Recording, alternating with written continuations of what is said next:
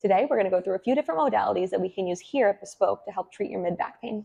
In certain situations, like an acute muscle strain, or if you slept awkward um, at night and wake up with a sore mid back, soft tissue work can be very helpful to help reduce those acute symptoms to get you back to moving more comfortably.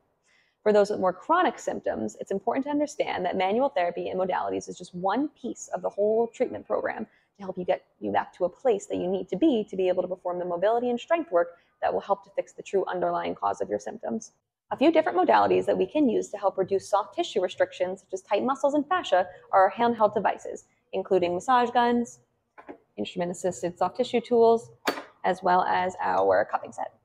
For each of these tools, we use a different technique, such as percussion, scraping, and suction, to help alleviate areas of soft tissue restriction which the patient is experiencing as muscle tightness or soreness. Our goal is to help use all these techniques to help to improve your pain-free motion of your neck, mid-back, and shoulders. That way you can perform the movements and exercises crucial to your recovery. Aside from manual therapies, we can also use muscle stimulation devices to help optimize your recovery.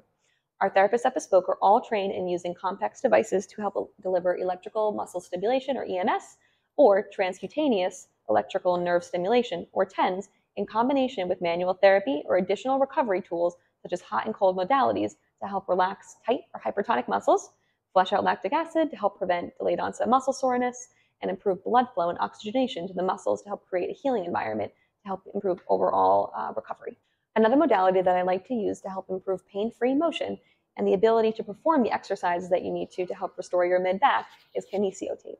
While the research is kind of mixed on the efficacy of the tape, I've seen it be really helpful in certain situations to help reduce areas of pain and inflammation, as well as improve the quality of patients' movements that might be uh, exacerbating their pain.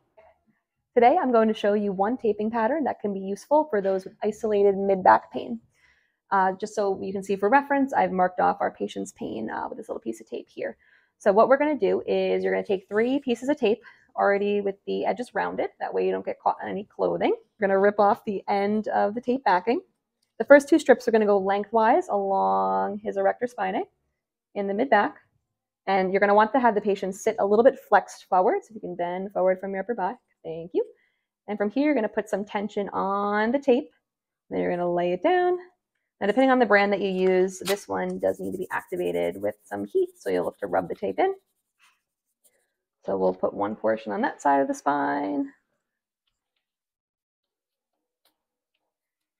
Now, what we're hoping to do with this tape is create, um, one, we're going to be putting a piece of compression right across the area for him that is painful, just to help improve circulation. That way we can help to um, improve blood flow to the area, to help engage the body's natural healing points. And we are also going to use these long strips here just to help give his body some cues to stay in an upright posture to help put stress on that area where he's feeling pain. So the last piece you're going to do is you're going to split it right in the middle. You're going to put some stretch on the middle portion.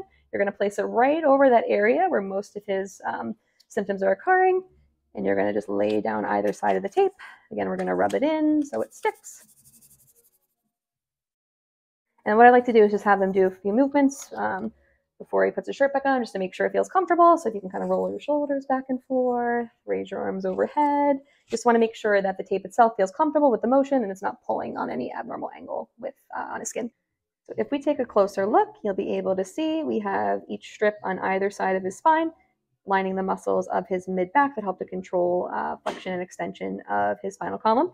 And then right under here, we have this cross piece is where we have that extra compression to help improve circulation to his region where he's feeling pain.